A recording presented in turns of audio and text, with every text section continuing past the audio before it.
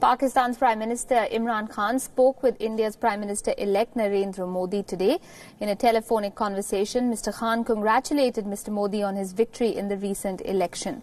The two leaders discussed South Asia in the phone call, which lasted more than three minutes. Imran Khan expressed his desire to work with India and said that he looked forward to working with Mr. Modi towards the prosperity of both India and Pakistan. In his reply, Modi stressed on creating a violence and terrorism-free environment. Remember, New Delhi has time and again asked Islamabad to curb terror on its soul, or rather on its soil. Modi also reiterated his desire to fight poverty jointly with Mr. Khan. Remember, the Pakistani Prime Minister was among the first world leaders to co commend Mr. Modi on 23rd of May, the day that India's general election result was announced.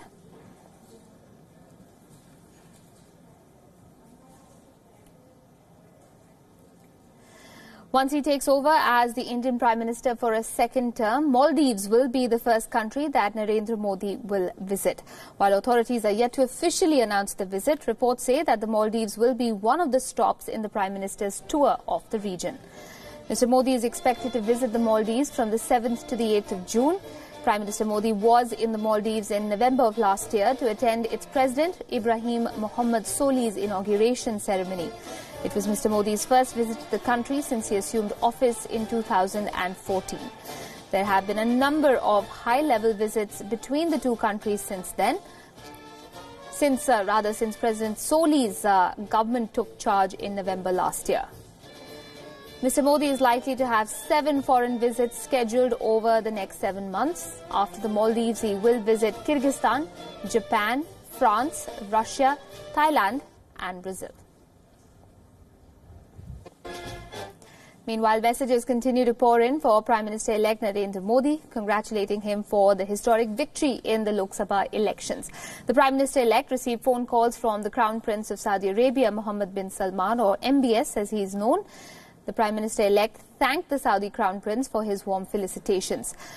Mr. Modi also conveyed his appreciation to MBS for his invaluable friendship with the people of India and his personal interest in furthering the close relationship between the two countries. Modi also received a phone call from the Emir of Qatar, Sheikh Tamim bin Hamad Al Thani.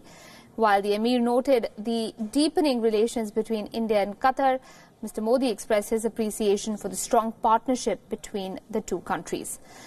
The British Prime Minister Theresa May also made a phone call to the Prime Minister-elect. She complimented the people of India for a successful election. Meanwhile, messages also came in from the German Chancellor Angela Merkel and the former Sri Lankan President Mahinda Rajapaksa. Chancellor Merkel expressed her desire to further the bilateral ties between India and Germany and cooperate on areas of mutual interest. Prime Minister-elect Modi and Chancellor Merkel also spoke about interacting, interacting at the upcoming G20 summit in Japan.